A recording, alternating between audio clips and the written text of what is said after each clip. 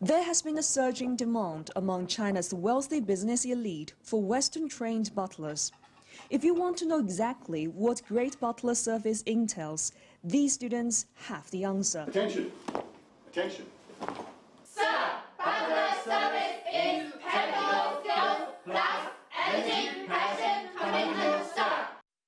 But before China's next generation of top-class butlers can put on their white gloves and get down to setting a table with silver, they must first master what many might consider a more fundamental task, smiling. Spreading happiness is important. I came here not only to learn skills, but also to try to become more outgoing.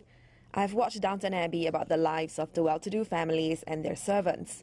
What we learned in our butler training classes is very similar to the episodes of Downton Abbey. The school's courses include at least 15 hours of training a day, six days a week, in order to prepare students for the grueling schedules that they will have in their future posts.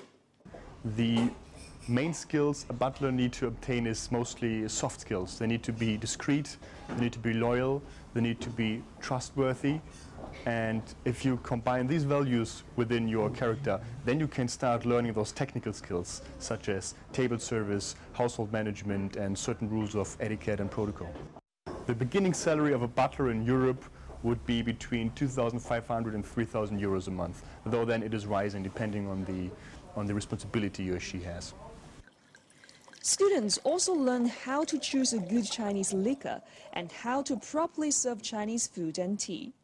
But just as important as the practical skills is the mindset that butlers must cultivate when working long hours for their employer.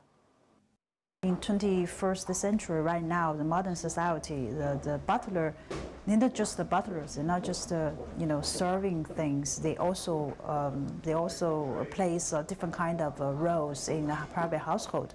They also uh, they're gonna be uh, a personal assistant. They're gonna be uh, executive managers. They um, they plays different roles in the private household. Students are taught that attention to detail is everything when it comes to serving in a great house. China now has an increasing number of billionaires, and there's huge market for butlers.